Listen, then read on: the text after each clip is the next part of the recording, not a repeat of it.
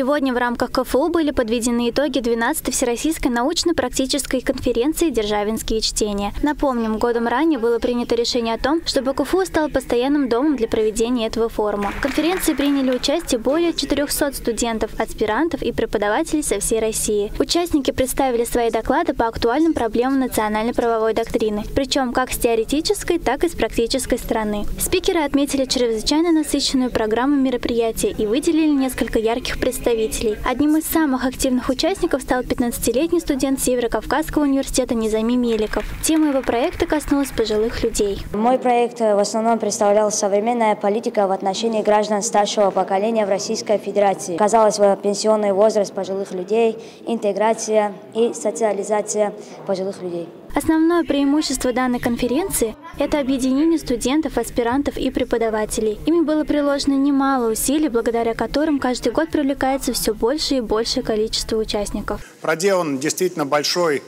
труд. Я думаю, что год от года наши компетенции, наши знания будут возрастать, и конференция будет все более масштабной, все более значной, а ее решения а, будут а, звучать все более и более широко.